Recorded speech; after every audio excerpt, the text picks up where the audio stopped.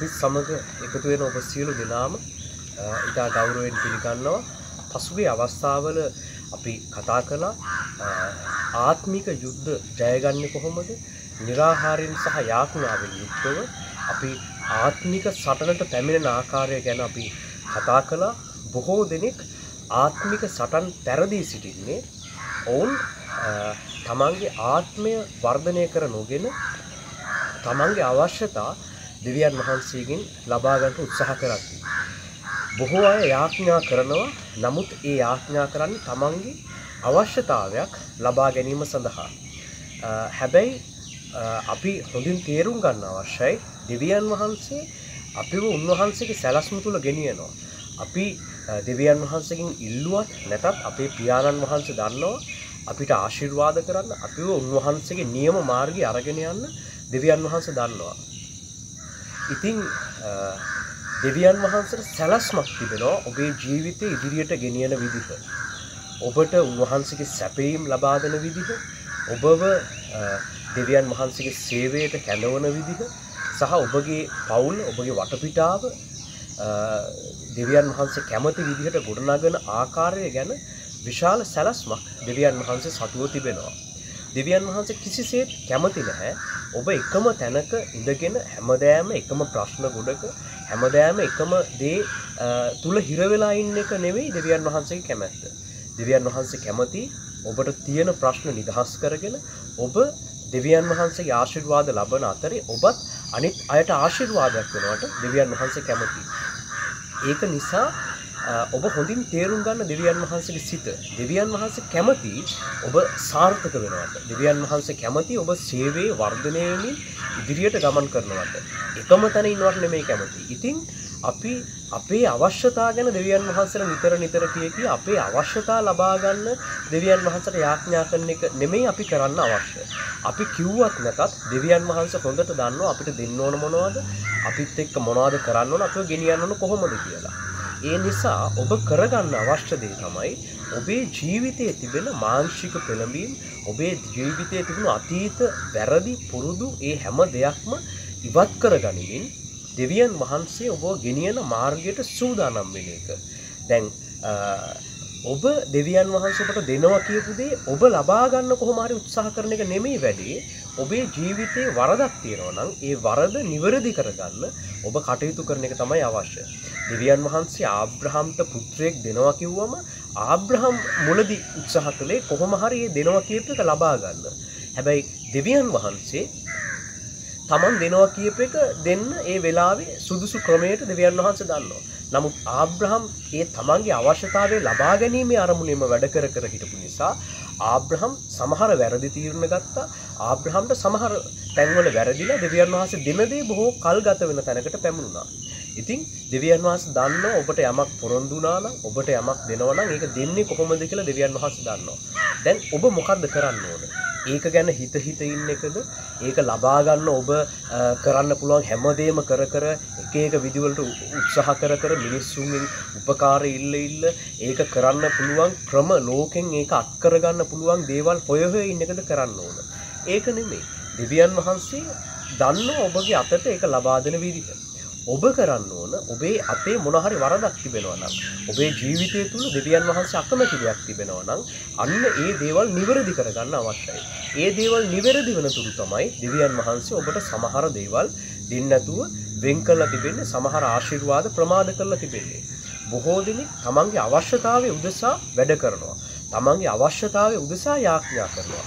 නමුත් ඒක නෙමේ දෙවියන් වහන්සේ බලාපොරොත්තු වෙන්නේ. දෙවියන් වහන්සේට අවශ්‍ය ඔබ ඔබේ අවශ්‍යතාවය වෙනුවෙන් ඒක ලබාගන්න උත්සාහ කරනට වඩා ඔබේ ජීවිතය නියම දෙවියන් වහන්සේගේ පුත්‍රයගේ ස්වරූපයට වෙනස් කරගන්න උත්සාහ කරනට තමයි දෙවියන් වහන්සේ ඔබෙන් බලාපොරොත්තු වෙන්නේ.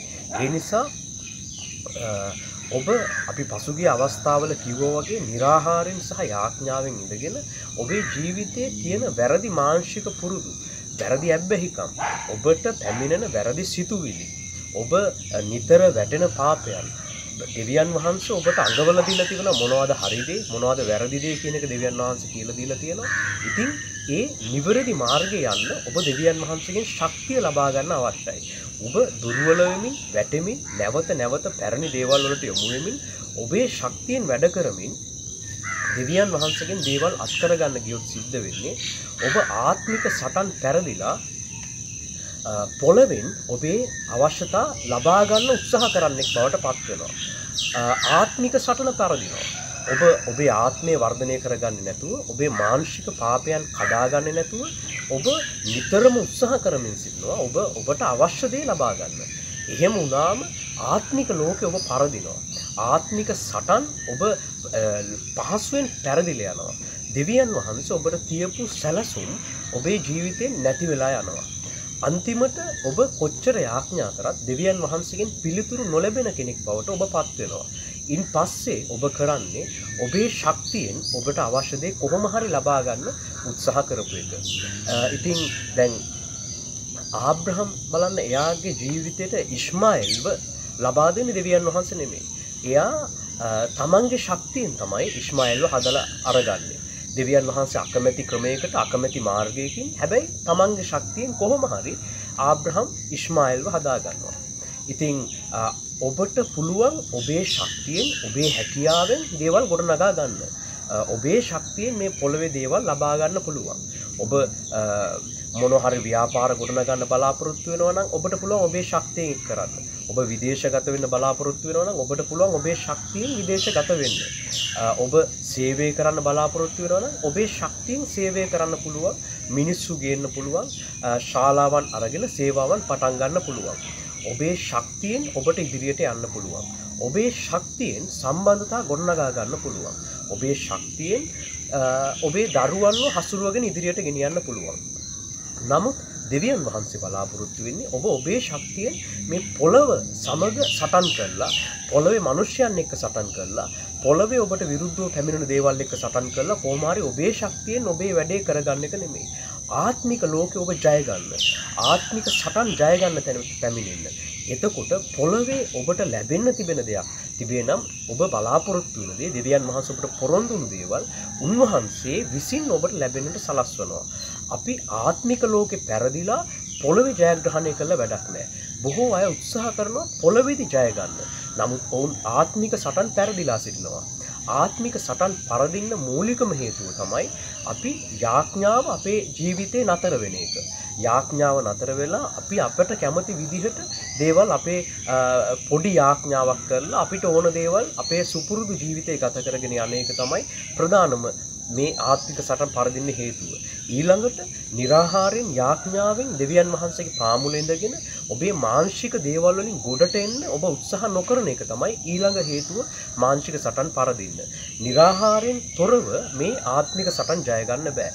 ඉතින් ඔබ හැම සතියකම දවසක් හෝ එහෙම නැත්නම් ඔබ යම් කාලයක් නියම කරගෙන ඒ කාලය පුරා निराහාර විඳගෙන දෙවියන් වහන්සේත් එක්ක සම්බන්ධ වෙන්නේ. මේ කාලය තුල ඔබේ මාංශය දුර්වල වෙලා ආත්මය ශක්තිමත් වෙලා දෙවියන් වහන්සේ ඔබට ඉදිරියෙන් තබා තිබෙන ආත්මික සටන් ජය ගන්න ඔබට හැකියාව ලැබෙනවා.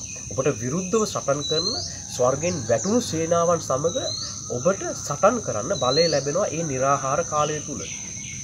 අනිත් දේ තමයි අපි දෙවියන් වහන්ස කියන වෙලාවට කියන විදිහට වැඩ කරන්න නැතුව අපිට හිතෙන විදිහට අපිට ලේසි පහසු විදිහට වැඩ කරන්න ගත්තොත් අපි ආත්මික සටන් පවරදිනවා. ඉතින් යාඥාව අකණ්ඩ ඔබේ ජීවිතය තිබෙන්න අවශ්‍යයි. නිරාහාරව යාඥා කිරීම ඔබේ ජීවිතය අත්‍යවශ්‍යයි. නිරාහාර යාඥාව තුළින් තමයි දෙවියන් වහන්සේ දෙන දීමනාවන් දෙවියන් වහන්සේ ඔබ ගෙනියන මාර්ගයේ ඔබට මාංශික පෙළඹින් කඩාගෙන ඉදිරියට යන්න පුළුවන් වෙන්න.